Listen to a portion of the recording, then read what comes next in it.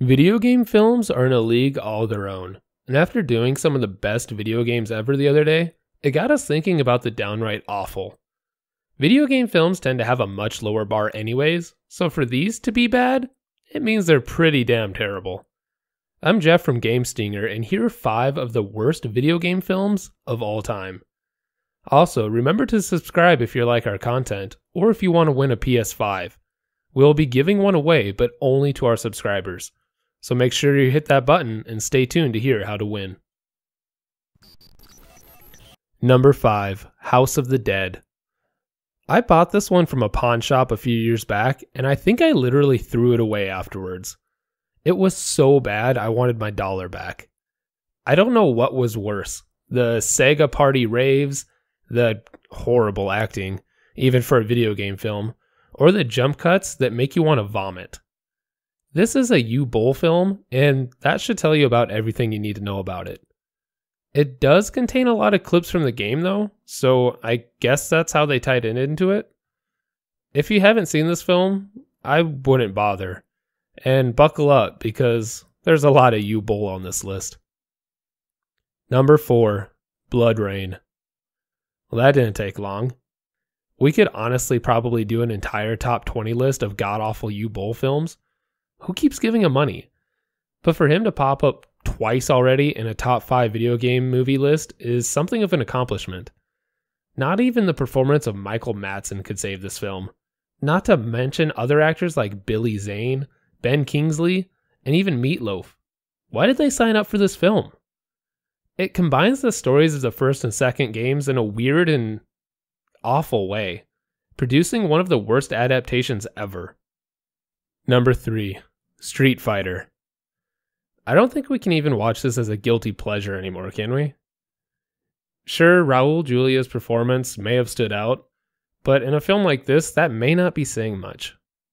Jean Claude Van Damme stars in this adaptation that really doesn't bear much, if any, resemblance to the original game. If you're going to make a video game film, shouldn't people be able to tell what it is without the title on the cover? Thankfully, Street Fighter II, the animated movie, came out the same year and helped us forget whatever the hell this was. Number 2 Alone in the Dark. Oh, look, Uwe Boll again. We really tried not to trouble up on this guy, but he's just awful. Not only did he make House of the Dead and BloodRayne, but he made this pile of poop as well.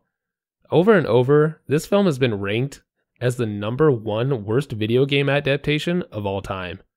It speaks for itself with a 1% on Rotten Tomatoes. However, we have something different for our number one, just, you know, for the sake of being different.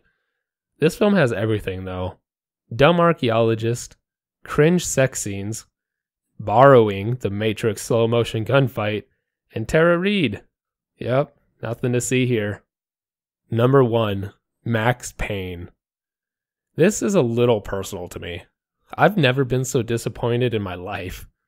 Being such a big fan of the original game, from the amazing story, the neo noir feeling of it, and the perfect voice acting of James McCaffrey, the game sits as one of my top favorites of all time. This made a film about it alluring until I caught wind of Wahlberg's involvement and I actually watched the damn film.